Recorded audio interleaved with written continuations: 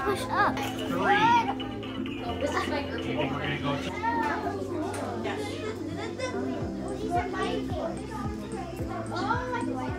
Talent development was a STEAM program, the T being technology, um, and we were just really trying to find ways to get kids experiences when they're really young. Forward, forward, forward. And it really is an opportunity to provide all kids um, access to enrichment activities. Forward.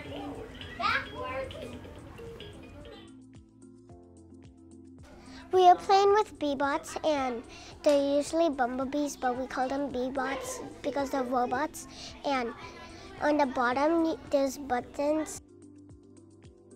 One goes like, has an arrow that point, that goes forward. There's another one that goes backwards and a button that go, that has go when you're done coding. Starting in kindergarten, we talk about algorithms and we talk about sequencing, um, loops and bugs. So all of this high level vocabulary I feel like they get access to. Fastbridge, um, the classrooms is a little bit more of a technical component of reading.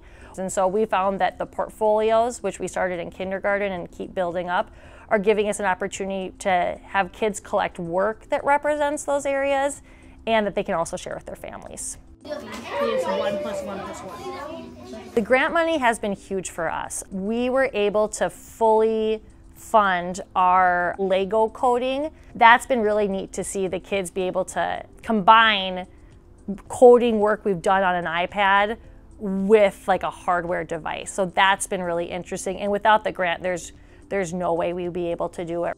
I have a wonderful K2 talent development team. We really valued having consistency across the building. So no matter what school you're at, you're getting the same experience.